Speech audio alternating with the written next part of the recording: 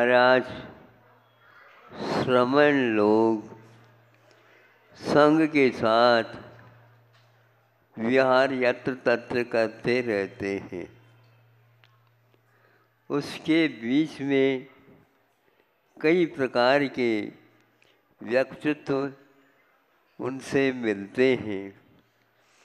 उनकी आँखें जैसे सूरमा डालने से नेत्र की ज्योति खुलती है और बढ़ती है, वैसे वैसे उन विहार करने वाले श्रवणों संघों के कारण उन जनता का एक प्रकार से ज्योति पुष्ट हो जाती है। और उससे हमें करना क्या है, क्या नहीं करना है, किससे बचना है और किसी से दूर रह, किससे दूर रहना है, ये सारे के सारे विवेक ज्ञान प्राप्त हो जाते हैं। श्रावकों को भी और श्रावकों के उत्साह को बढ़ाने के लिए एक प्रकार से यह कारण हो जाता है। इन दिनों जैसे चुनाव के माहौल में आप लोग एक दो महीने यूँ निकाल लेते हैं, उसी प्रकार हमने भी सोचा कि उस तिलदाना के निमित्त से नेवरा जिसको बोलते हैं, उसके भी हमने सोचा नया नया छत्तीसगढ़ बना है, इस निमित्त से यदि हमारे भी चुनाव पद्धति पूर्ण हो जाती है तो बहुत अच्छा है। तो उसका तीन चार वर्ष पूर्व में शिलान्यास किया गया था और केवल बारह परिवार है। सुन रहे हो आप लोग? केवल बारह परिवार है। आप लोगों के कितने परिवार है? हाँ तो ये तो हम वैसे ही पूछ लेते हैं, जिसके माध्यम से कुवत कहाँ से कहाँ तक की है। कोई बात नहीं, एक बार ग्राहक बंद जाए तो फिर तो उसको तो आना ही पड़ेगा। अब वह उस गाँव से प्रारंभ हुआ, उसका अल्प समय में उन लोगों ने भिड़ करके एकता के कारण और अच्छे अच्छे जो बुद्धिजीवी हैं इस दिशा में, बुद्धि का काम करते हैं तो उनको लगाने, उनके सहयोग मिलने से वह कार्य अल्प समय में किंतु बहुत बड़ा काम हो गया है। आप लोग अवश्य ही उसके दर्शन करेंगे। अब हमें इसके अनुरूप क्या, कहाँ तक दौड़ लगाना है, ये भी अब अनुमान आपको लग जाएगा।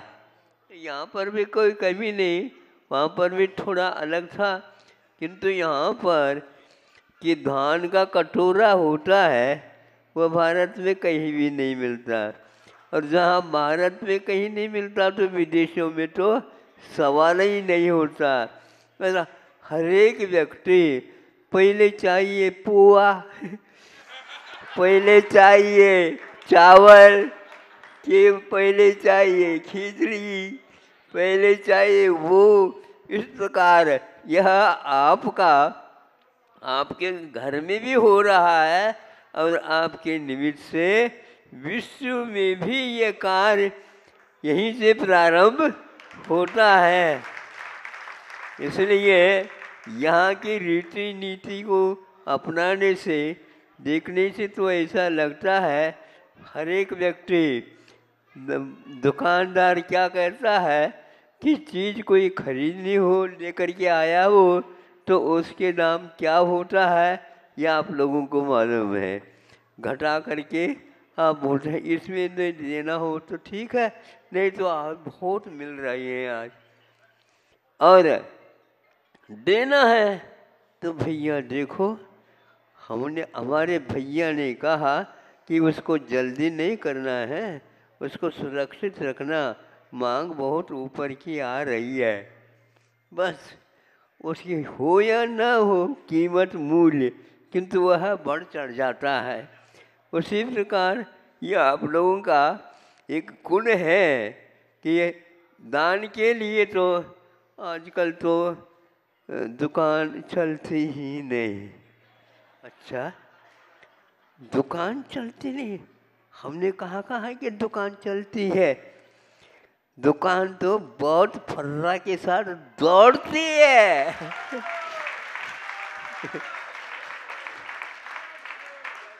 चाहिए बस दौड़ाने वाला। हाँ नहीं समझे? हाँ इधर उधर की बातें कह करके हमें ऐसा आप ये नहीं कह सकते। तो इस प्रकार आप लोगों का कार्य यहाँ नहीं होगा, ऐसा नहीं। थोड़ा सा अन्यत्र तो खर्च होता है इसको कम करके, जैसे हमने समय निकाल करके इस यात्रा में निकाला है, लग रहा है, ठीक है, कोई बात नहीं है। तो इसलिए इन लोगों को यदि उत्साह बढ़ जाता है तो चलो तो हम धीरे धीरे करके फिर बाद में हम रायपुर आए रायपुर वाले भी चार पाँच साल से कह रहे थे कि हमें भी वहाँ उसी के अनुसार आगे बढ़ना है। तो तुम तो कोई बात नहीं, देख लो। तो वह मूल जो मंदिर है, उनका ये रायपुर बहुत बड़ा है। बीस पच्चीस लाख की आबादी होगी। और जिधर देखो, उधर बिल्कुल गगनचुंबी क्या है? इमारत है। अब उनमें मंदिर जो है, बिल्कुल बोना सा हो गया है। हाँ मालवी नगर, उसको मूल मूल नगर है, वह मालवी नगर।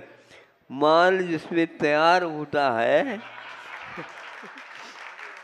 माल जिसमें सुरक्षित रखा जाता है और वह शुरुआत से ही राजधानी के रूप में प्रसिद्धि पाई है। तो उनका, उनको कहा है, महाराज, हम इससे बनाना है, इतनी हमारे पास ज़मीन है, क्या करें? जो आते हैं, उनकी इस परिस्थिति देखते हैं तो हमारा कर्तव्य तो छूट रहा है। तो कुछ नहीं छूट रहा है। बहुत सारे घर उसके लगे हुए हैं, मूल मंदिर से। उनको एक करके कोई कार्य करता कि ऐसा संघ बना दो, जिसके द्वारा ये काम हो ही जाएगा। महाराज, इतना बड़ा काम कैसे होगा? बड़ा यदि रायपुर है, यह भी कार्य बड़ा हो जाएगा। और यदि रायपुर किसी भी प्रकार से अनेक दूर दूर से रायपुर में बसने के लिए हाँ तो आगे आगे हो रहे हैं। इसलिए मूल कहीं आपका चूक न जाए। इसलिए मिल करके उस ऐसा योजना बनाओ। उन लोगों ने बहुत अल्प और दूसरी बात ये, यदि आप बनाते हैं तो कुछ समय हम दे सकते हैं।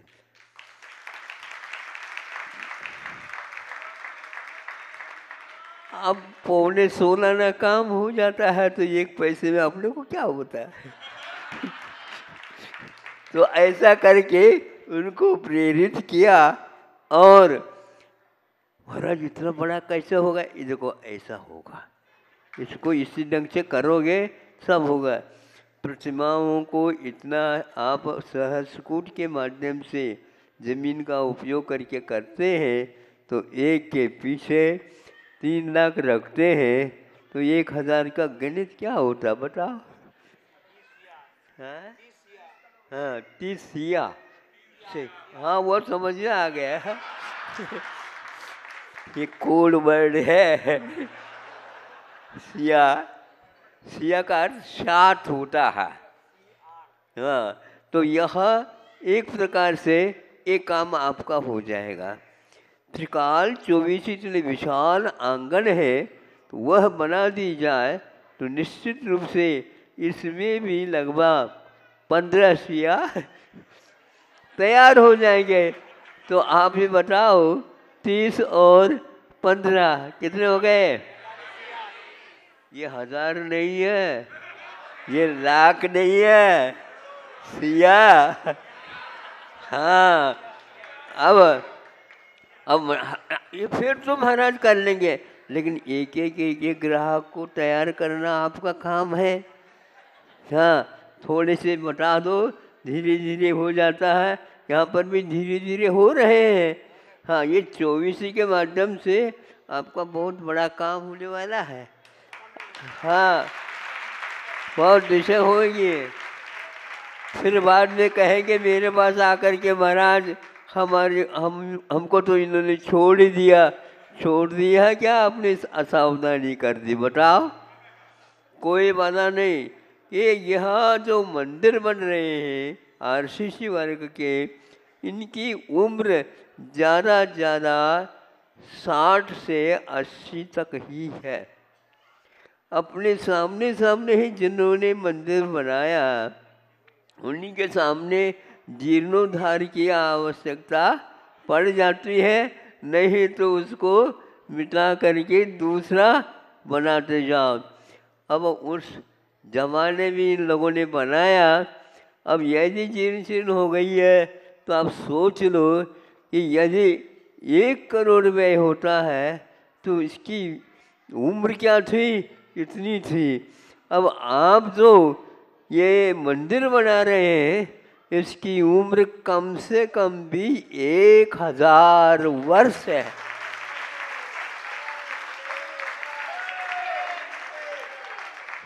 महाराज, खर्च बहुत हो रहा है। उम्र बहुत मिल रही है। ये नहीं कहते आ सोचो, विचार करो। कम से कम एक हज़ार से दो हज़ार वर्ष तक जौ का चौ यहाँ पर कई आसामी नहीं समझे, एक से एक बढ़ कर के यहीं से आकर के यहीं चले जाएँगे। लेकिन तो यह दीप स्तंभ दूर दूर तक आपका काम बता देगा कि यहाँ पर वीतराग मंदिर है। तो इस प्रकार आपको रास्ता इस पत्थर की शिलाओं से बनाने से एक प्रकार से बहुत बड़ा काम होने वाला है। आपको चाहिए आपको दुकान सुरक्षित रहे, आपका सिद्धांत सुरक्षित रहे, आपकी परंपरा सुरक्षित रहे। तो इस प्रकार का इस समय पर आप काम करते हैं हो जाता है। वह हज़ार, दो हज़ार वर्ष तक मंदिर यदि खड़ा रहेगा तो आप बताओ, नीचे की जो सीमेंट है, वो अपने आप ही बह जाएगी और ऐसी स्थिति में आपको निशान भी नहीं वहाँ पर मिलेगी। किंतु सब कुछ हो जाए, किंतु यह ऐसे आधार शिलाओं की बात कर रहे हैं, आपको यदि अपनी परंपरा, सिद्धांत का आधार को सुरक्षित रखना है तो यह काम आप कर सकते हैं। तो इस मंदिर के लिए जो स्तंभ बनाए गए हैं, अल्प खर्चे में यदि आपको ज़्यादा नहीं दे सकते हैं, कोई बात नहीं है उसमें भी यदि क्रम में आप नहीं आ पाएँगे अरे भैया महाराज तो कह रहे थे। भैया भी कह रहा था, लेकिन हमने नहीं माना। अब माना नहीं, अब माना है। अब मिलने वाला नहीं है। ध्यान रखना, कल तक क्या होने वाला है यहाँ पर। हाँ बहुत जल्दी परिवर्तन, युग में परिवर्तन आ रहा है। तो ये आधार स्तंभ को जो व्यक्ति अल्प राशि के माध्यम से कर लेता है तो हमें अभी मालूम नहीं है कि संभव है 108 उसमें बन जाए आधार स्तंभ हाँ कब यदि दो मंजिला बनता है तो इस आधार स्तंभ का फिर कहना ही क्या है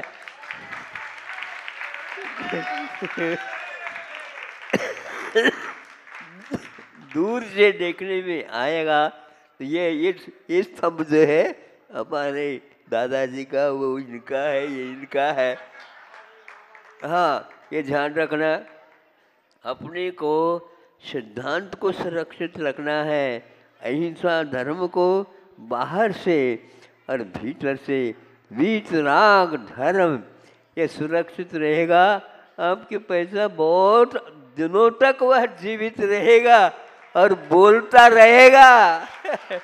हाँ आप जो बोलते हो, आपका धन भी बोल सकता है। यदि बुलवाना है तो देख लो। हाँ हमने सोचा कि भैया मध्यान्ह में हम यहाँ पर आपके कार्य में शामिल होंगे या नहीं होंगे, इस प्रकार कहने से जल्दी जल्दी काम हो करके आ गया आधारों का। अब ये कह रहा हूँ, ये 108 यदि आधार स्तंभ है तो आप बहुत अच्छे ढंग से चार साल, तीन चार साल में खूब आगे भाग जाएँगे और कार्य सामने आ जाएगा। इस प्रकार आधार स्तंभ के माध्यम से आप सुनते से देखते हैं। त्रिलो त्रिकाल चौबीसी के माध्यम से आप सोचते हैं।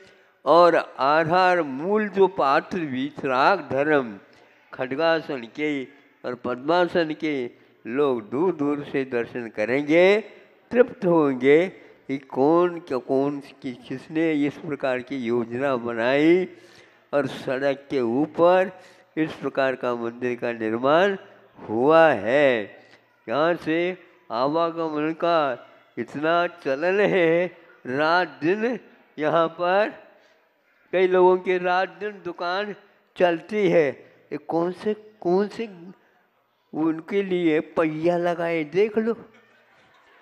पहिया नहीं लगाए, रात दिन भैया लगे हैं। तब चलते हैं। उसी प्रकार यहाँ पर भी आप लोगों को वीट राग की रक्षा करने के लिए हज़ार से दो हज़ार वर्ष तक उन स्तंभों के माध्यम से आपको ये कार्य करना हो तो देखो बहुत अत्यल्प रखा है। ये लोग और बढ़ाना चाह रहे थे, मत करो, अपने आप ही हो जाएगा। और वो सब मिलकर, मान लो एक परिवार में दो भी सब मिल करके भी कर सकते हैं, स्वतंत्र भी कर सकते हैं, एक भी कर सकते हैं चाहे पाँच सम भी कर सकते हैं। अपने कुंवर को छुपाओ नहीं। कुंवर समझते हो? कंजूसी। आप, आपको कोई कह, दे, कंजूसी, कंजूस हो कैसे काम कर रहे हो?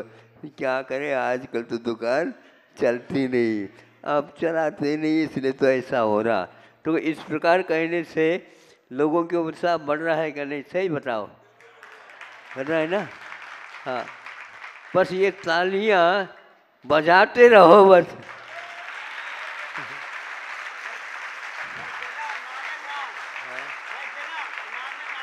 नादगाह हूँ ये तो वैसे ही है, लेकिन हम एक मिसाल बता देते हैं सब। देखो, हमारे प्राचीन मंदिर जो बने हुए हैं, वो कैसे बने हैं? तो जिनकी हाइट है, जिनकी ऊंचाई ज़्यादा है, जिनकी ऊंचाई ज़्यादा है और वो जब भगवान के पास पहुँचना चाहते हैं तो क्या करते हैं? गर्दन को गर्दन को झुका देते हैं। यानी गर्दन को झुकाने से विनय भी आ जाता है और एक प्रकार से हमारे माथा भी सुरक्षित रह जाता है। भगवान के पास जा रहे हो आप मस्तक एक प्रकार से सुरक्षित रख करके नमोस्तु करते हुए वहाँ जाना। फिर इसके उपरांत आँगन में ए सुनो आँगन में खड़े हो जाना। सुन रहे हो क्या नहीं आप लोग? ए, ए बोलो नहीं। आँगन में होकर के खड़े रहो तो आपको लगेगा शिकर कहाँ है? ध्वजदंड लगाया है, वो कहाँ है? ये तो यूँ करते करते हैं आप। टोपी हो तो टोपी गिर जाएगी, सापा हो तो सापा हो जाएगी, और पैर यदि दड़ खड़ा है तो आप स्वयं दीजिए ये जो है, मंदिर का बाहरी विन्यास है। इस प्रकार मंदिर को हम जान सकते हैं, आपके मालाओं के माध्यम से नहीं। दस खंड का है, नौ खंड का है, सात खंड का है। महाराज, आज जो है ना, दूर से, क्या महाराज, इस गली में, इस रास्ते में, इस आर्च है ना? हाँ तो उनमें प्रवेश करने के उपरांत हमारा पहला घर है महाराज, कहते हुए। महत्वपूर्ण यह चीज़ इतने दान लेने के उपरांत भी हम उस द्वार को जो बिल्कुल ही हमारे ऊंचाई के बराबर भी नहीं है और उसमें से हम प्रवेश करने का प्रयास करते हैं, यह हमारे अहम को जिताने वाला है। अहम जानते हो? अभिमान। अभिमान जो है हमेशा हमेशा हमें खा जाता है, जैसे दीमक मिट्टी खा जाती है। इसलिए इससे दूर रहो, फिर बाद में कोई कार्य करते हैं तो अभिमान इसलिए बंद हो जाएगा। ऊपर देखते हैं तो वाह वाह, काम कर गए। स्वाभिमान को वहीं पर देहरी के बाहर ही चढ़ा दिया और अष्टमंगल द्रव्य भगवान के चरणों में चढ़ा दिया। इस प्रकार चढ़ाने योग्य वस्तु भगवान के चरणों में चढ़ाओ और क्या ग्रहण करना है तो निर्भिमान होकर के चिंतन करेंगे। इतना पर्याप्त है। अहिंसा परमो धर्म की।